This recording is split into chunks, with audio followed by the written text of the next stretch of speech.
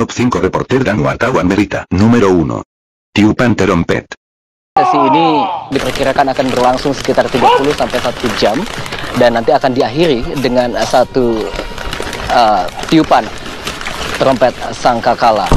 Número 2. Makan malam bersama Bapak. Makan malam bersama Bapak gimana Mbak Irina dan Mas Kaisang? Uh, ya udah biasa kan Bapak saya. Número 3. Train Control. KNKT dan nantinya uh, KNKT ini akan memeriksa train kontrol, kontrol uh, manajemen sistem. Número 4. Reporter ketiduran. Bergeser kita akan kembali ke ibu kota. Oke. Ini kayak kelamaan tadi nunggu Rian. Ini kok ketiduran kayaknya ya. Halo, Teddy.